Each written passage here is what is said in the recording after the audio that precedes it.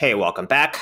Today is April 14th, Wednesday, and on this post, I'll be telling you about the overall crypto markets very quickly, which includes Bitcoin dominance and Bitcoin price action, and see how they could potentially affect the overall altcoin markets before diving into Origin Protocol, token, OGN, USD, and see what is going on in here. I'll be telling you about the bullish and bearish case scenarios for today, as well as the short-term price prediction on this market according to what I'm seeing on the charts. Before I begin today, if you guys are enjoying this content, make sure to subscribe to this channel and like this video as I'll be keeping updated on the latest crypto setups on my watch list, regardless if it's a good day or a bad day. If you want to support me and don't have a Webull brokerage account, you guys can use my referral link down below. They're still giving away two free stocks as of today upon a successful sign up and a qualifying deposit of 100 US dollars. And I will also receive a referral bonus if you guys sign up under me. Please also read my full disclaimer below. I am not a financial advisor and this is not financial advice. I am purely sharing my own speculation and opinions on this market. I cannot trade the future, and you should always do your own due diligence before trading or investing in this market as extremely risky and volatile. If you have any questions or comments, please do only leave them in the comment section below, but I'll try my best to get to as many of them as possible. See what's going on in this market right now. We do have Bitcoin dominance, the first thing I look at because it tells me what the money could be trending into. Would It would be Bitcoin, altcoins, or neither. Right now, we do have Bitcoin dominance down further from my earlier post today. Right now, it's down about 1%. This breaks down to Bitcoin price action down over 2%. Total market cap down very slightly now, about just 0.1%. Now, this would still be the downside of Bitcoin dominance trending downwards because altcoins are still down, okay? I still usually emphasize Bitcoin dominance trend downwards. That's generally speaking better for the altcoins on both the upside and downside. Because conversely speaking, if Bitcoin dominance was trending upwards, the downside of that, I will usually see Bitcoin pullbacks affecting total altcoin market cap more. Okay. Unlike right now, where we are seeing Bitcoin dominance trending downwards and Bitcoin pullbacks are affecting total altcoin market cap less. Okay. Now, Bitcoin dominance here on the weekly time frame. We are still in the falling wedge pattern, which is generally a bullish pattern.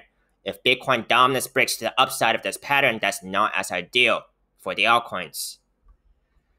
Let's go over to Bitcoin here. Bitcoin, as we have, um, as I've been saying on this weekly time frame, this is the weekly time frame. We have been having bearish divergence that have signaled a few pullbacks here.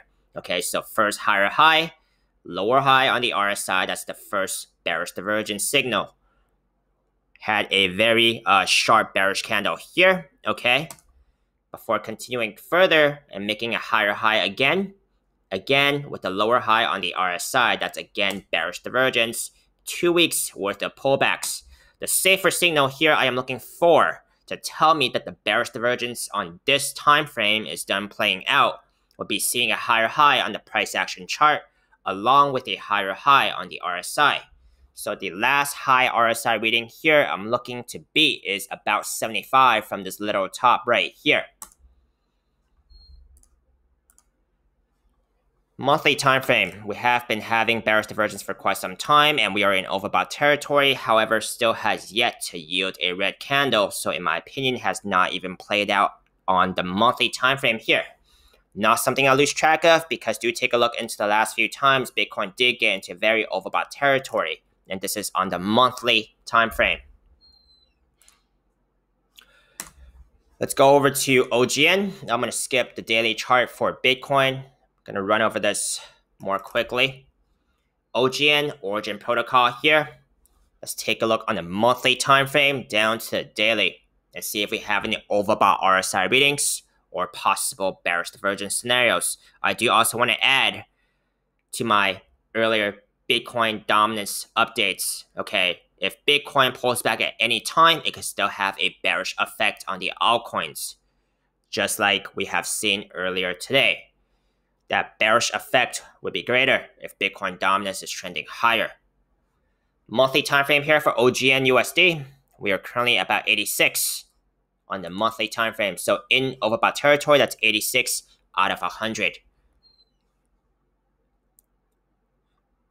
Weekly time frame, we're at over 84, so still in overbought territory. I cannot say anything about possible bearish divergence scenario on here just yet because this weekly candle has not closed, so I won't potentially have two tops to compare it to. Three-day time frame. If the price action, excuse me, let me backtrack. RSI reading on the three-day three-day time frame here over 78, so not in overbought territory on this shorter of the macro time frames here. However, if the price action was to make a higher high on this time frame, it does need to beat the last high RSI reading of about 84 on here. Okay. Right now, I do see bearish divergence playing out on the three-day time frame. We did have a higher high on the price action chart, however, a lower high on the RSI. That is still a signal for pullback more often than not, as I have pointed out on the weekly time frame as well for Bitcoin. Okay. Now, a safer signal here to tell me that this bearish divergence is done playing out would be seeing a higher high on the price action chart, along with a higher high on the RSI as well. Okay. Otherwise, more pullback or consolidation could still be expected.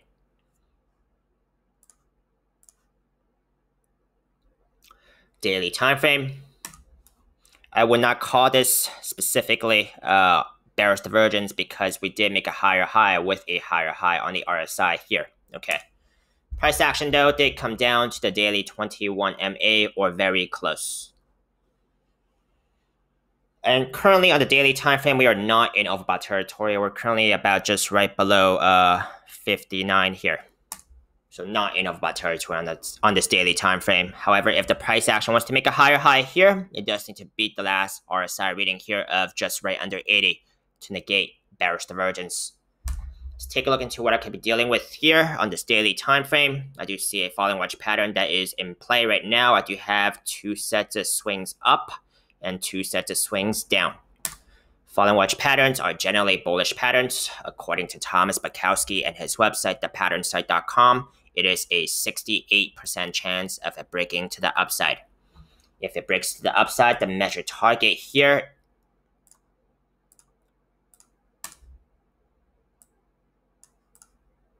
if it breaks to the upside by